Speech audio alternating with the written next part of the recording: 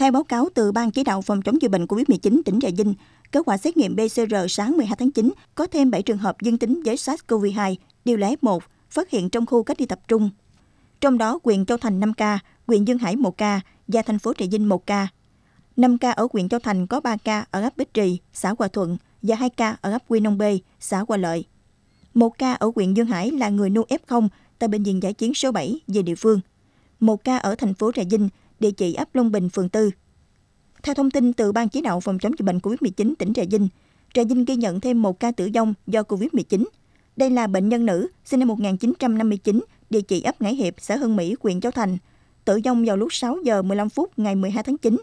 Nguyên nhân tử vong, suy hô hấp nặng do nhiễm SARS-CoV-2, điểm bảo cytokine, tổn thương thận cấp. Đây là ca tử vong thứ 19 ở tỉnh Trà Vinh. Như vậy, tính đến sáng 12 tháng 9, Trà Vinh ghi nhận 1.461 bệnh nhân COVID-19, có 1.002 trường hợp được điều trị khỏi, 19 ca tử vong.